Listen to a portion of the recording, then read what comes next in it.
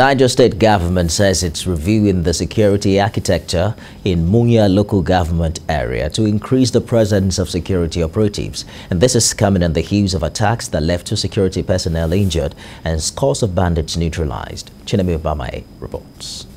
The fight against banditry in Niger State by security agencies with help from the state government is yielding the right results, even though it is far from over.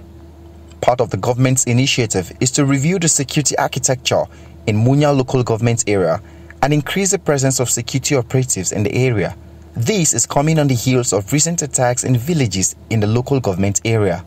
Commissioner for Local Government, Community Development, Chieftaincy Affairs and Internal Security briefs journalists on the security situation in the state. He discloses that terrorists recently attacked Chibani, Fuka, Dandaudu and other adjoining communities in Munya local government area, where some people were killed and others kidnapped. The commissioner revealed that two security personnel were injured during the operation, and while one has been treated and discharged, the other is responding to treatment. Uh, in line with the directives of His Excellency the Governor of Niger State, you may recall that uh, we held, there was a meeting chaired by His Excellency in which um, we, was a review of our security strategy in the state.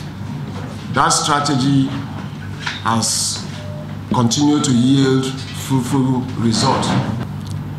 A few days ago, we held a security meeting with the stakeholders, and by the directives of His Excellency, we are reviewing the entire security architecture in Munya local government, and the, the governor, with uh, the security agencies chiefs have improved security within that axis and very soon um, you will see large movements of troops around that, those areas.